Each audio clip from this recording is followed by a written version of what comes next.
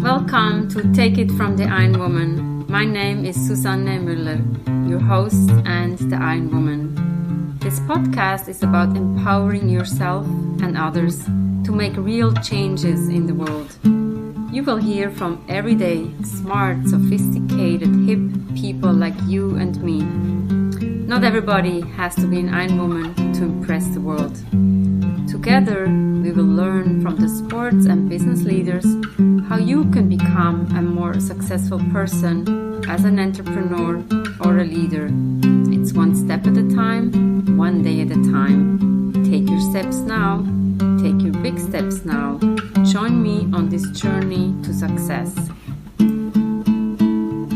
This podcast is being sponsored by Get Loopy. On episode 41, you can hear the story of Isabel, the co founder and CEO.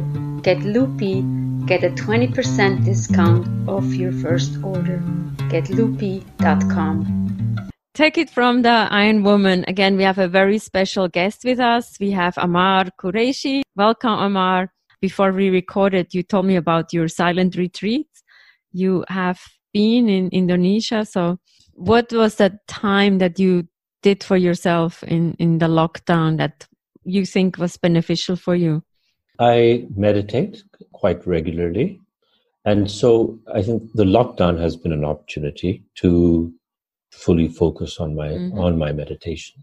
Mm-hmm. But it was not because of the lockdown. I have been mm-hmm. meditating actually for a long time, and uh, you know this silent ten day silent retreat the Vipassana meditation I went to was a year ago in April for 10 days, which was mm-hmm. a very interesting experience.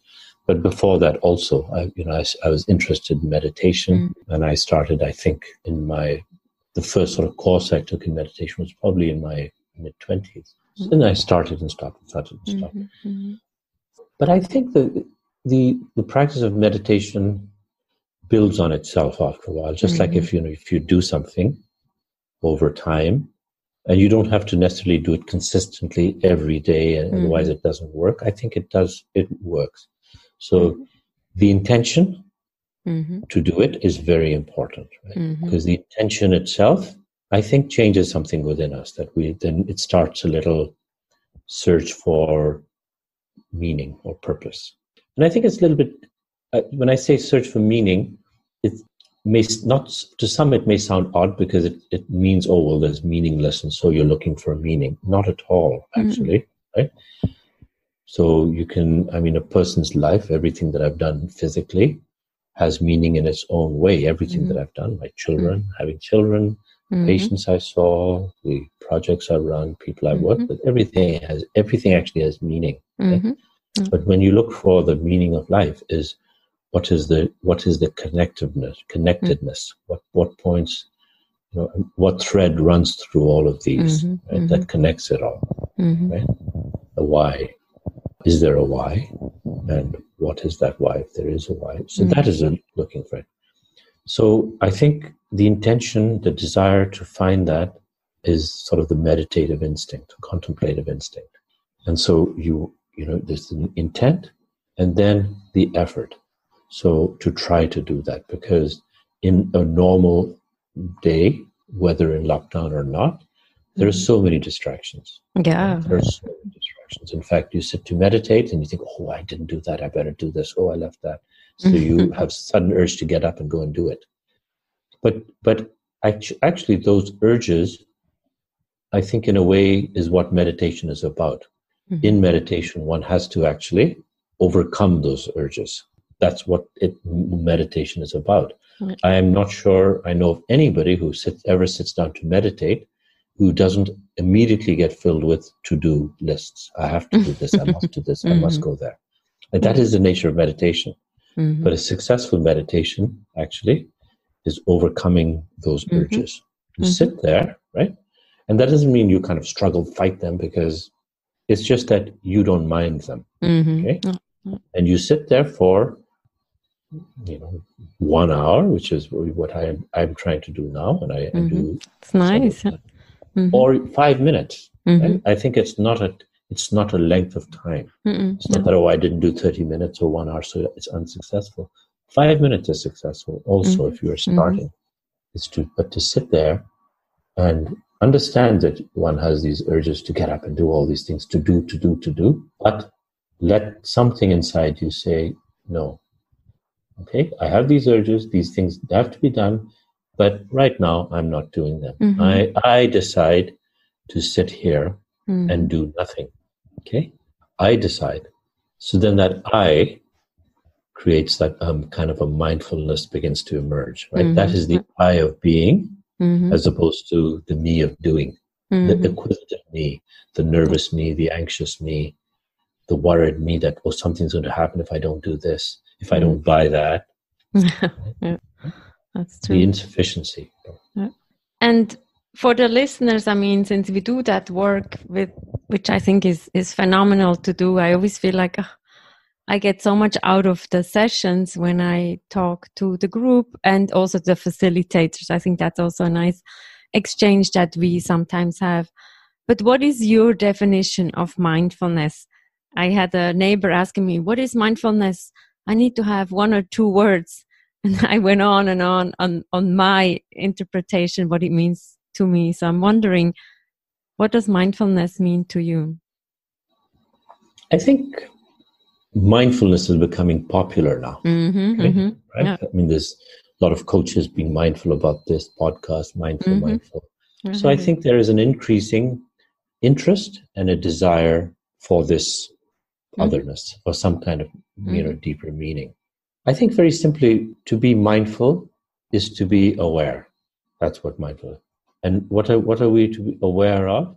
It's it's very it's much easier to be aware of others although not mm-hmm. necessarily not necessarily so i think more and more you see people on the street sitting on the subway they're working on their smartphones right mm-hmm. and not aware of anybody around them mm-hmm, mm-hmm, so that's not not a given mm-hmm. but even so it's easy, it's much easier to see other people be critical of other people or make commentary about other people.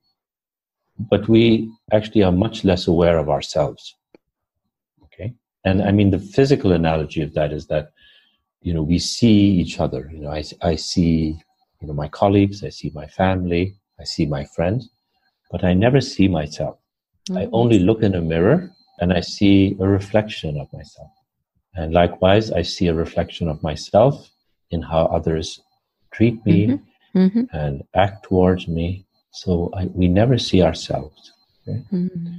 so i think mindfulness getting to the core of it is trying to become more self-aware right mm-hmm. like what am i ah i'm thinking these things and i'm supposed to do these kinds of things right and so to be able to step a little bit away from all the things we do automatically like our brain is always racing right mm-hmm. the autopilot which we call yeah in sure our, in our leadership group okay so to be able to step away from that mm-hmm. and to watch the minds right just like we watch other people to become watchful of mm-hmm. ourselves, right?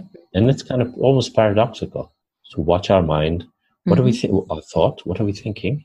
And mm-hmm. don't act on them, right? Just watch mm-hmm. them out of almost a disinterested, not get attached with it. What am I feeling right now? I could be feeling a little bit worried, anxious, angry. Ah, okay, I'm feeling anxious. I'm feeling angry. I'm feeling worried. I'm feeling sad. Just watch that, right? Mm-hmm. Just like you would watch someone sitting if you weren't on your smartphone across from you on a subway, for mm-hmm. example, or in a mm-hmm. park bench, that person looks sad. I think perhaps many of us don't even notice that anymore. Right? Mm-hmm. So observe these things. I think that's what mind, mindful, that's getting to mm-hmm. core of mindfulness is to become aware in a different way mm. of, of who we are, what we are, how we interact with other people, what's actually going on when, when we do communicate or don't mm-hmm. communicate that's beautiful. We have to be more observant, and especially when I or when I used to take the subway in New York City, it's sad to see when everybody's on the smartphone and me included. But I use that time to answer some emails probably. But sometimes I would consciously put it away and look around because initially I always thought like everybody has a different story to tell and it's so rich what you see mm-hmm. in the subway, but now with the mm-hmm. smartphones, people don't pay attention to each other anymore. Mm-hmm. Seems like so. It's all sad. I think you know what I have found is what makes life meaningful, more meaningful. You know, other connections we have mm-hmm. around us. Okay. I think if we hold ourselves completely separate in isolation, we're locked in our own concerns and our own minds, thoughts, mm-hmm. worries we we create a sort of hell. I mean, hell is within us. Mm-hmm. I think it was C.S. Lewis who observed that. So that's where we experience, such experiencing a kind of hell. Mm-hmm. But heaven is all around us. Both. Yeah. So when we start interacting and we start seeing things, whether and I don't only mean nature, but just even people, I think that's kind of you know to to find that awareness, the mm-hmm. self, the center of the self, and then connect connect with others, and yeah. find then in fact how deeply we are, in fact, connected with everyone and everything else. We are not separate at all. Very nice. Thank you so much. I think this is very inspirational to hear. And it seems like we're doing the same work, but everybody comes from a different background or, I mean, like geographical background or even educational background. But then we're teaching or coaching the same. So it's very beautiful mm-hmm, to talk about mm-hmm. that. I think that's really actually one of the things I, I find most remarkable, I guess, in a sense of like it, I I like it very much is how different everybody and everything is. Mm-hmm, mm-hmm. That's the richness of our existence. Right? Yeah. The, the, true, again, another word like mindfulness, diversity. Right? Mm-hmm, so, but the true diversity is actually the differences and to accept those differences yeah. but to understand that you know in fact we are all part of the same that's not mm-hmm. to say there are no differences right because then that's a whitewash that's not diversity right so but to say that we are all part of the same and is it acceptance probably i think i think it's an acceptance tolerance uh, but probably a recognition mm-hmm, mm-hmm. as well right And the celebration. I like to say celebration. Celebration. Yeah, yeah, yes, celebration. And going back to the celebration, definitely. Uh, but going back to that recognition part, that that person could also be me. I could also be that person mm-hmm. if I was born in a different place in a different time. I think that makes that creates that acceptance, right? That mm-hmm. we are all set in a different place in this time space continuum, mm-hmm. if you like. Mm-hmm. Right? And that actually is our journey, our point of journey. We didn't put ourselves physically there.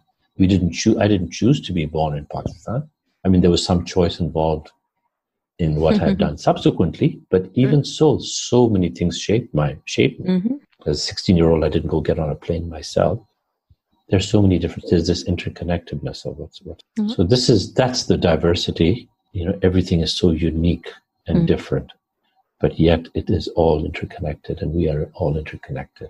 Thank you so much, Amar. I think we can talk for hours and hours. A glimpse into your world in Singapore or wherever you come from, wherever home is for you.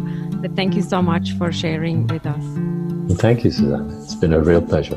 What a nice, interesting, mindful conversation here something different than talking about sport. What is your meditation? What is your mindfulness? What is your focus? We want to know. Leave a comment, ask questions, be curious, just be. Take it from the Iron Woman. We have episodes every Monday and every Wednesday. Chime in and make sure to purchase Get Loopy. You get a 20% discount off your first order. GetLoopy.com. Take it from the Iron Woman. Thank you for listening.